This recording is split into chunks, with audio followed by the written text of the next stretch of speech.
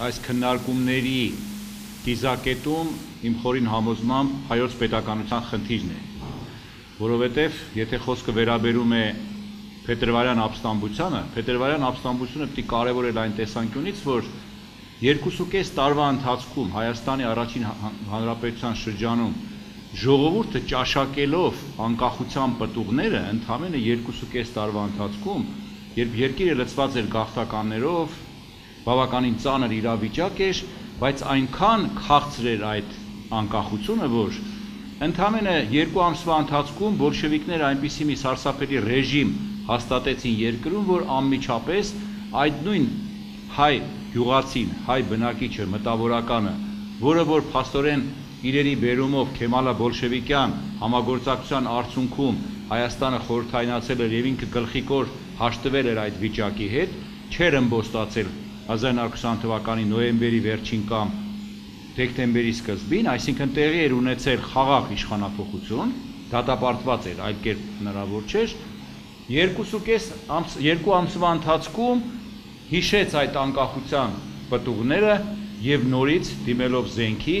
1921 թվականի փետրվարի 18-ին վերականգնեց անկախ պետականությունը։ Այսինքն այս տեսանկյունից պիտի դիտարկել եւ որպես պատմաբան գուզեի գուզեի ասել հետեւյալը, որ մենք 1921 թվականի առաջին կեսի իրադարձություններին արդեն այլ տեսանկյունից ենք մոտենում։ Ինչպես։ Գիտեք, որ դասագրքային ճշմարտություն է դարձել այն, որ Հայաստանի առաջին հանրապետությունը գոյություն է ունեցել ընդամենը 2.5 տարի։ 1918 թվականի մայիսի 28-ից մինչև 20 թվականի դեկտեմբերի 2-ի Երևանյան համաձայնագիրը։ Բայց երբ որ խորանում ես խնդրի մեջ, դու տեսնում ես, որ Հայաստանը չէր, որ երկրորդը խորհրդայնացավ։ Խորհրդայնացումը սկսվեց 20 թվականի մայիս ամսից, երբ որ 11-րդ Կարմիր բանակի զորքերը ներխուժեցին Արցախ, ցավոք սրտի Արցախը չդիմադրեց, հետո հուլիս-օգոստոսին մտան Զանգեզուր եւ Նախիջևան, որտեղ շուտով ըմբոստություն տեղի ունեցավ եւ 1920 թվականի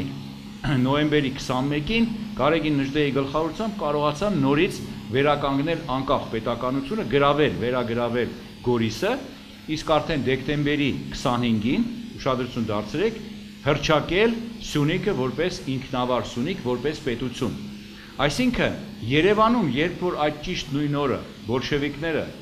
առաջին կարմիր շփաթորյակն էին կազմակերպում զարմանալի զուգադիպությամբ,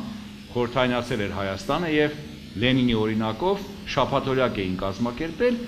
պետականաշինության գործընթացը Սյունիքում շարունակվում էր։ Այսինքն հայ ժողովուրդը շարունակում էր կարճած մնալ անկախության գաղափարին։ Եվ ոչ միայն Սյունիքում, որը որ գիտեք, տեղի ինքնավար Սյունիքը հետագայում 1921 թվականի ապրիլի 27-ին ինքնավար Սյունիքը վերանվանվեց Լեռնահայաստան։ Իսկ Լեռնահայաստանը, երբ որ արդեն գոյություն չուներ Հայաստանի հանրապետություն արդեն հայրենիքի փրկության կոմիտեի անունով, գիտեք որ երբ որ Փետրվարյան ապստամբությունը հաղթեց, նորից երրագույնը ծածանվեց պետական դրոշն պետական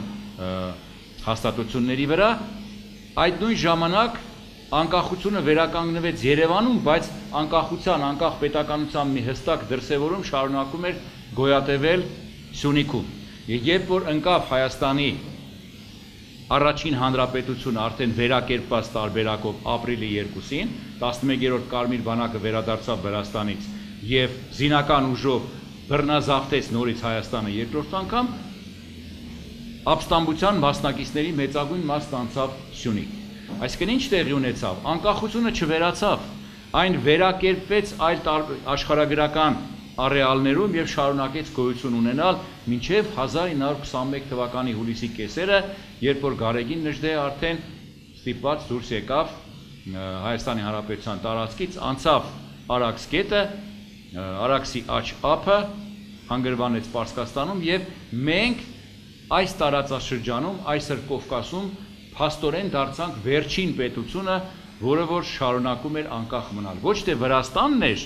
վերջին անկախ պետությունը, ինչպես ընդունված է ասել, որ 1921 թվականի փետրվարի 25-ին խորհրդայնացավ Վրաստանը, Թիֆլիս մտավ 11-րդ Կարմիր բանակը։ Մենք շարունակում էինք անկախությունը պահպանել եւ տարածաշրջանում անկախության դրոշակակիրը հանդի շարունակում էր մնալ Հայաստանը, ինչու՞ չէ հենց Հայաստանի Հանրապետություն անունով։ Հիշեք, որ սկզբից ինքնավար Սյունիք